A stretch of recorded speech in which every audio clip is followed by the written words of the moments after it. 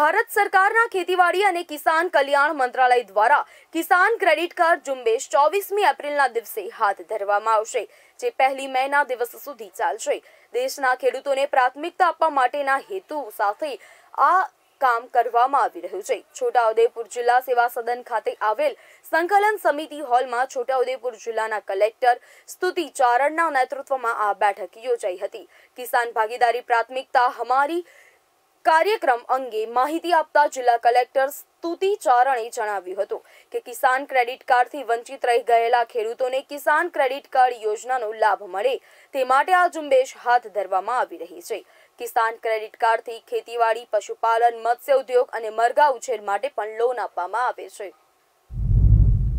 છોટાઉદેપુર જિલ્લામાં આગામી જે ચોવીસ એપ્રિલથી લઈને એક મે સુધીમાં જે ખાસ પ્રોગ્રામ બેન્કિંગ સેક્ટરનો થઈ રહ્યું છે, આમાં કિસાન ભાગીદારી, પ્રાથમિકતા હમારીના જે મોટો છે, એમને લઈને ખાસ ઝુંબેશ હાથ ધરવામાં આવશે.